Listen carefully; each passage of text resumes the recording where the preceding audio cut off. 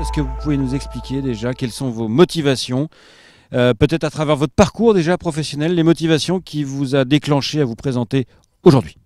Bah, tout à fait. Si vous voulez, déjà, je suis inquiet un petit peu par la situation actuelle euh, du trot. Ce moi, avant tout, c'est pas ma, profession principale, c'est vraiment une passion. Donc, euh, ça a toujours été une passion et je, je, souhaite euh, continuer à avoir des shows de course. Aujourd'hui, dans l'état actuel des choses, c'est inquiétant non seulement pour les propriétaires, mais aussi pour les entraîneurs et les éleveurs. Aujourd'hui, les éleveurs ont du mal à commercialiser leurs poulains.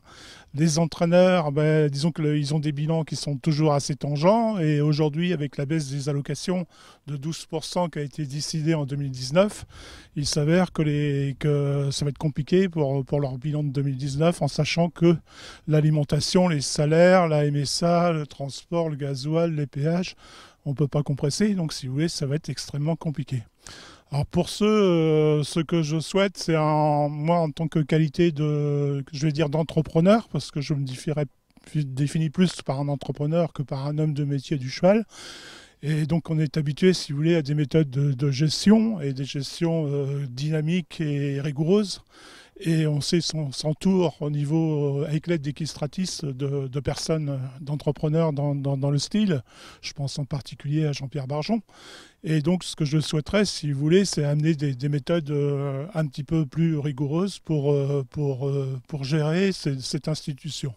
Il faut savoir qu'aujourd'hui, on a 800 millions de frais pour l'organisation du trot, du galop, du PMU, et qu'il y a seulement 530 ou 540 millions qui sont redistribués aux acteurs.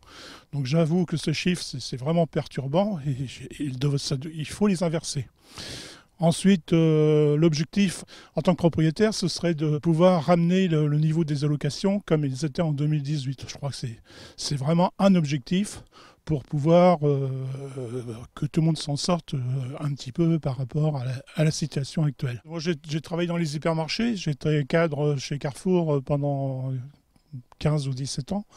Et ensuite, j'ai créé mes propres entreprises, j'ai créé des Super U que j'ai cédé il y a une quinzaine d'années et depuis je suis dans, dans l'immobilier, je suis promoteur immobilier spécialisé sur la région de Tours. Donc ça se passe euh, vraiment bien. Bon, il y a de gestion, que ce soit la grande distribution, que ce soit les supermarchés ou que ce soit euh, finalement la filière du trot, je peux vous dire les méthodes de gestion, c'est le côté financier et le côté social. Donc ça c'est deux choses, si vous voulez, qu'on a, qu'on a l'habitude de travailler. Deuxième chose aussi que je voudrais dire aussi, c'est qu'aujourd'hui le trot est, gouverné euh, en grande partie pour un tiers avec des cooptés.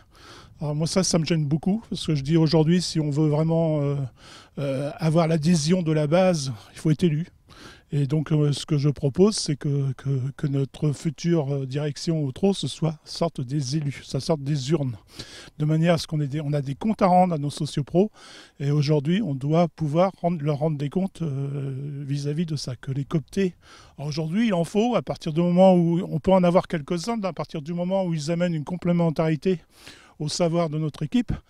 Mais aussi, euh, il faudrait que ce soit limité dans le temps, qu'on limite euh, la cooptation à un mandat de 4 ans comme, euh, comme les élus. C'est un petit peu mon, objectif. Ensuite, avec le PMU, il faut qu'on apprenne à travailler avec eux parce que bon, euh, eux, ils ont des idées techniques intéressantes, en particulier avec Cyril Linette. Je, suis, je pense que c'est un homme dynamique, mais il faut qu'on travaille avec lui pour, euh, pour essayer d'expliquer, par exemple pour les quintés plus, comment il faut faire pour avoir des, épreuves plus qualitatives et avec euh, de préférence environ 16 partants. Et pour conclure, bah, je dirais aussi que c'est de le PMU, c'est le chiffre d'affaires, donc c'est important de travailler en synergie et bah, avec nos amis parieurs, et sans oublier aussi sur nos hippodromes euh, les bénévoles, qui sont un maillon important de la chaîne.